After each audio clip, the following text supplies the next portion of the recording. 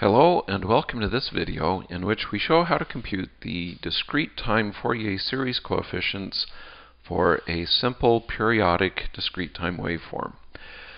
And uh, this is a fairly simple example in the sense that um, we won't be going through a lot of complex stuff to get the answer. Well, we'll be going through some complex stuff. Uh, but hopefully it will help you make sense of how to actually compute the discrete time Fourier series. So on the screen, we have a graph of one period of a discrete time Fourier series. So um, we will assume here that the period of the signal is 8.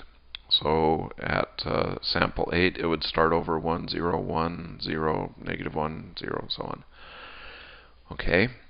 And our goal is to compute the um, the Fourier series coefficients, the discrete time Fourier series coefficients uh, for k going from 1 to 8. So you'll remember, hopefully, that the formula for the discrete time Fourier series co coefficients, the c sub k, is the summation where we sum over one period of x, and so for simplicity, I'll call it n going from 0 to 7, x of n, e to the minus j k n 2 pi over cap n. Okay, so in our example here, this cap n is 8. Um, I'm going to keep this in the form 2 pi over 8 uh, just to I guess, remind us that uh, cap n is 8. And um, then we'll do some simplification right at the end. Okay, now before we uh, launch into this, there's a couple things that probably would be useful to say. One of them is that because n goes from 0 to 7, this is a finite sum. It has 8 terms in it. Each of these terms can be computed on a computer.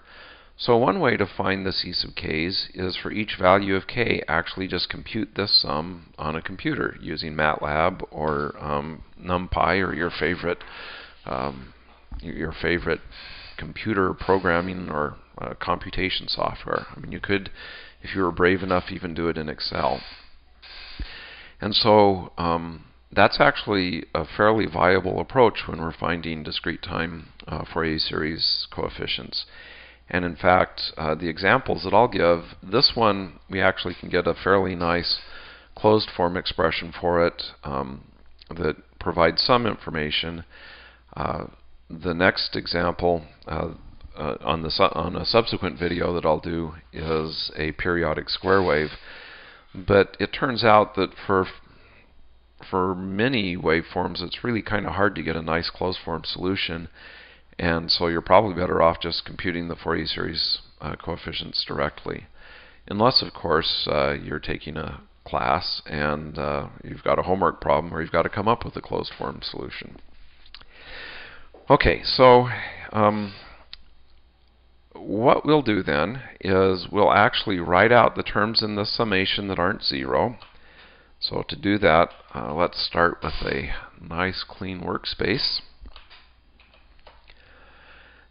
And uh, then we'll go through some manipulation that may seem reasonably. Oh, and I forgot something here, which is very important. There needs to be a 1 over n there.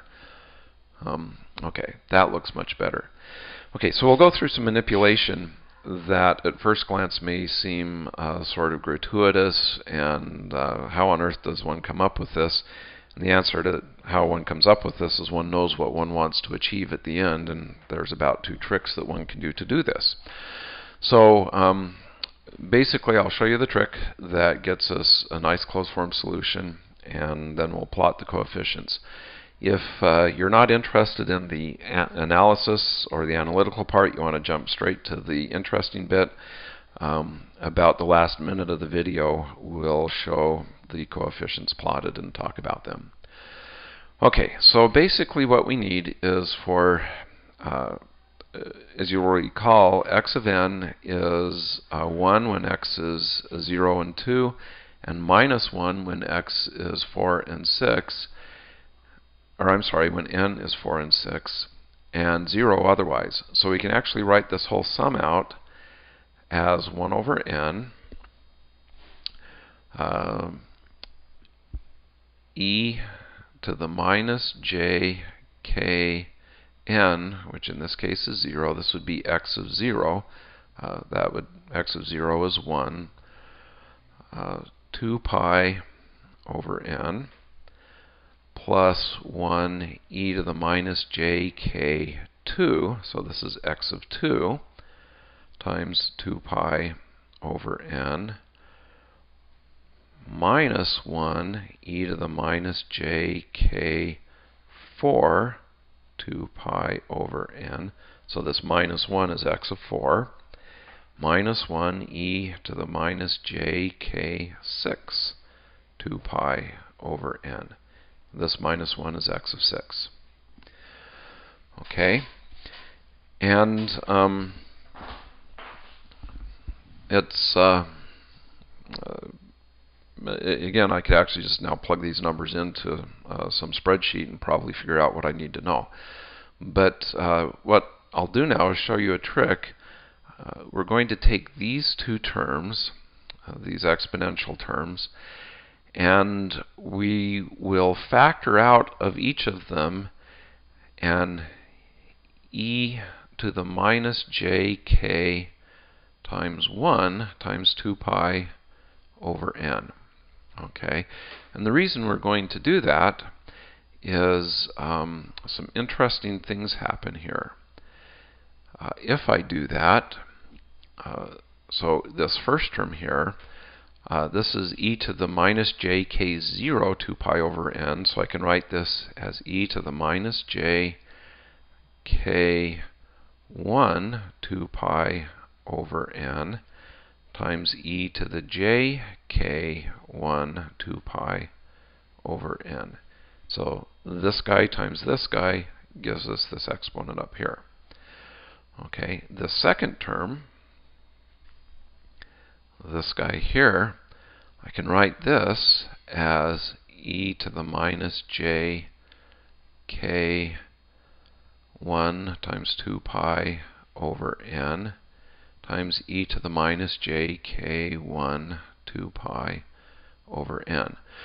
And you can see then that this term and this term are the same because I basically factored uh, each of these guys to get this term out. So I can write this as e to the minus jk 2 pi over n. Now I have e to the jk 2 pi over n plus e to the minus jk 2 pi over n. Well, why would I want to do that? I mean, essentially what I've done is I've I split the difference on the exponents to give me this term, and now I have this. Why, why did I work so hard to get this? Well, um, those of you that are familiar with Euler's formula, and that should be all of you, if you're not, go for, uh, familiarize yourself with it. This term here is 2 cosine 2 pi over n. Okay, so by splitting this difference, factoring this guy out, I now have a 2 cosine 2 pi over n. Okay, and this e to the minus j k 2 pi over n is still here in front of it. So I did all of that work to take these two terms and be able to write them as a single term that has a cosine. Now we can do a similar thing with these guys here, assuming I can make this big enough to act, oops, oh, we're making a mess. Just rewrite this.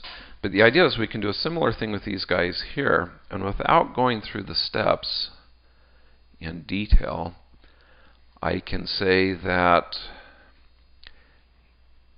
e to the minus j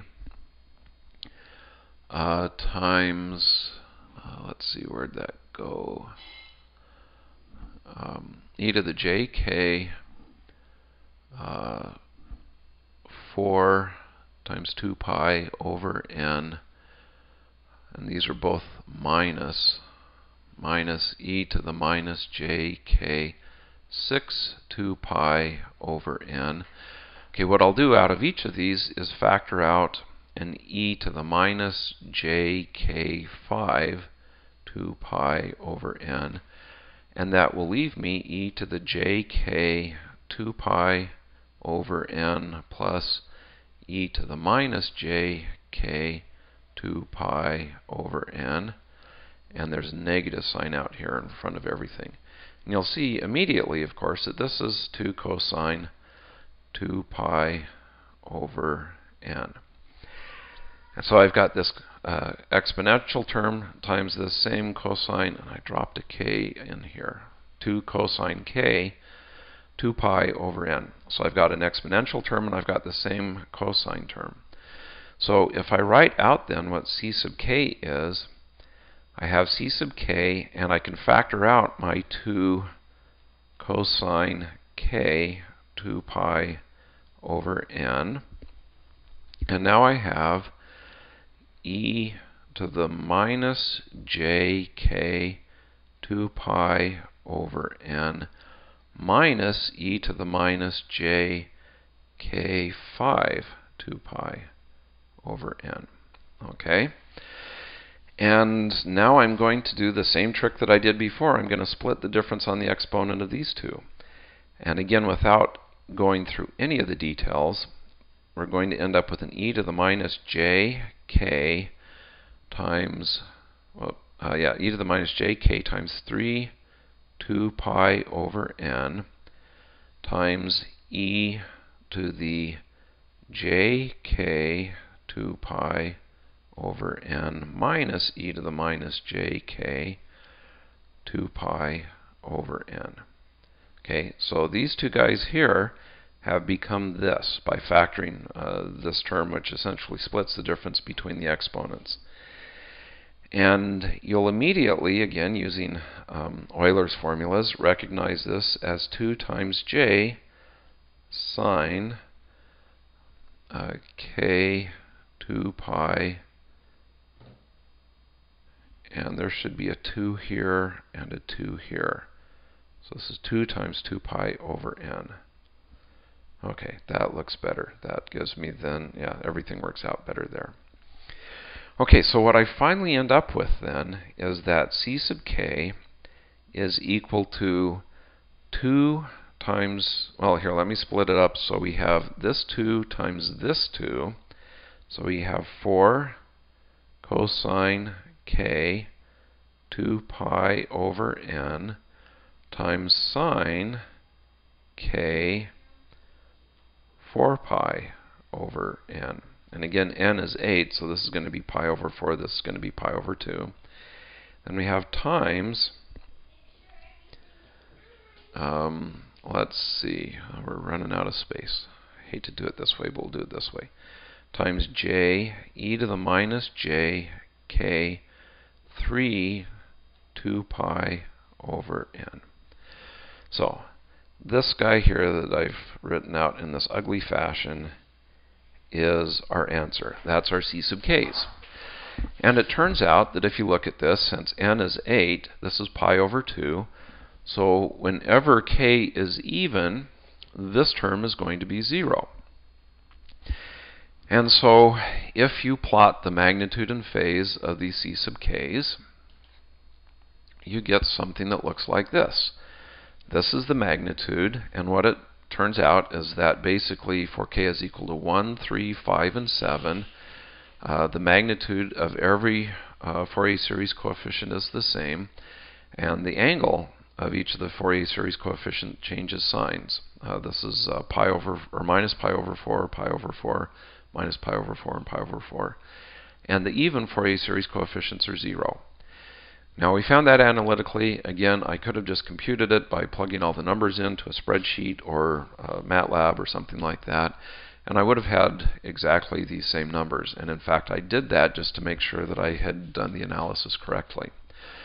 So uh, the goal here was to provide a example of a discrete time Fourier series, uh, a simple discrete time Fourier series, and uh, it is fairly simple except of course that the analysis gets kind of ugly.